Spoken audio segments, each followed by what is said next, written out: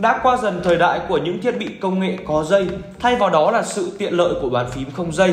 Hôm nay thì Chu Smart sẽ mang đến cho các bạn một bộ bàn phím chuột không dây chính hãng đến từ một thương hiệu đã có tiếng với những sản phẩm hot hit ở trong lĩnh vực bàn phím không dây có tên là MoFi Và chiếc bàn phím này thì có tên là MoFi Candy sở hữu một ngôn ngữ thiết kế mang tính retro của những năm 80 của thế kỷ trước khi mà những chiếc máy đánh chữ còn đang rất thịnh hành. Với bàn phím không dây này thì bạn sẽ không bị tình trạng đau tay hay luôn phải ngồi vào bàn làm việc với chiếc laptop của mình mà có thể linh hoạt với nhiều vị trí tùy thích, tạo cảm hứng và sự thoải mái khi làm việc. Đặc biệt, lối thiết kế của sản phẩm này thì vô cùng tinh tế và có phần gọn gàng.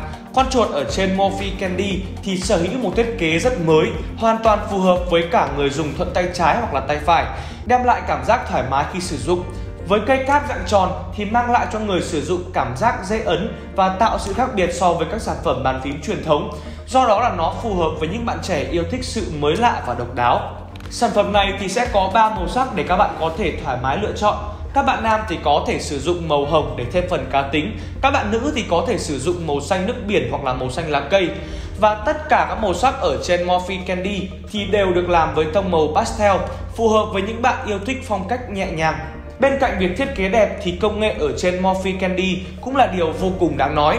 Với độ phân giải là 1600 dpi thì chạy được ở trên nhiều mặt phẳng, con trỏ thì không bị rung, tự động điều chỉnh kênh thu sóng, tránh nhiễu và khoảng cách đạt được là khoảng 10 mét.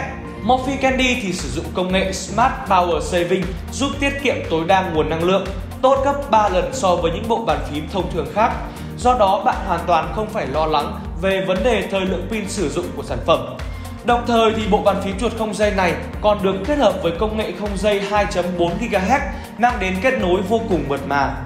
Nó tương thích với tất cả các hệ điều hành từ Mac OS cho đến Windows, vậy nên là các bạn sẽ không phải ngần ngại về vấn đề kết nối.